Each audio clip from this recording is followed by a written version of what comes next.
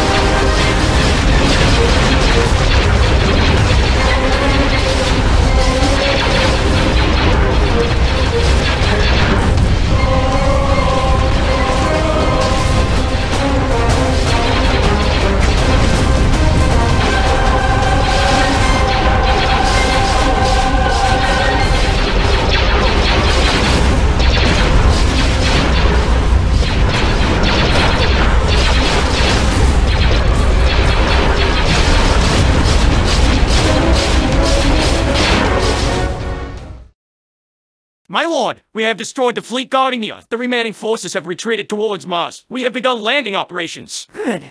I hope soon this will all be over. So, the Empire has declared war against Phoenix.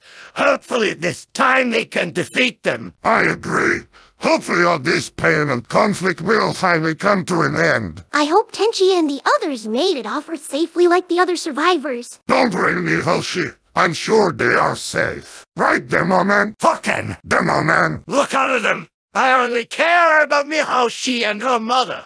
I don't give a flying fuck about the others, especially the princess and her bitch of a grandmother. God fucking damn that goddamn fucking bitch. I fucking hate her more than anybody else I know. Can't believe someone would even find her attractive, let alone fuck her. I mean, who the flying shitting fuck would look at her and say, yes, that's what I want to fuck. The very idea makes me sick. I'm glad none of my friends find her attractive. Not a single one of you. And if one of you did, I will be highly disappointed in them for doing so. Maybe even blacklist them for a while. That's how much I fucking hate Seto. I would rather support Phoenix. Yes, I said it. That's how much I fucking hate the goddamn fucking bitch. At least Phoenix would fucking kill her in the end and put me out of my fucking misery. I know you aren't serious, but please don't say that about Phoenix. Nothing positive should be said about Phoenix, not after what he has done. What he has done. He must be stopped no matter what. I'm sorry, Harry. I know you have been through a lot. Hopefully the Empire will be able to defeat Phoenix. God fucking damn those goddamn fucking machines! Oh, hello, Amon Khan. Oh, great. You assholes are here too. Really starting to regret not blowing my fucking brains out at Axis. What happened to Axis? Didn't you hear the fucking reports? All the nations were destroyed by Phoenix and his twat machines. I was close to killing myself during the fall of Axis, but decided against it. So I, along with the remaining survivors of Axis, came here to the Empire just like the other survivors. And now I plan to join the Imperial Auxiliary to get my fucking revenge on those fucking machines! You're among the survivors from the Sol System. Did you see Tenchi or any of my friends? Who the fuck are you? This is me, Hershey. Don't you remember?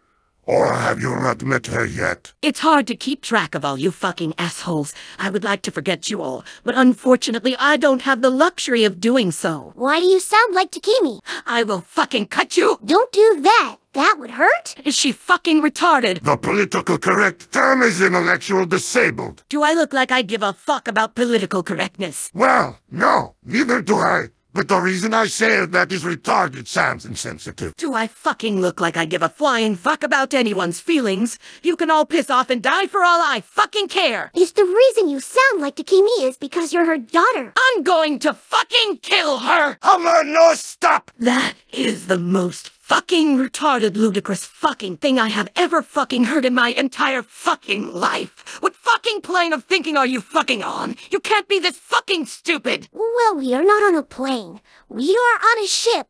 In space. So you should know you can't fly a plane in space. Or can you? Oh my fuck! She's not serious, is she? She's only acting, isn't she? Surely no one can be this stupid. I know Scout was close, but this is a whole fucking nother level. I have to ask.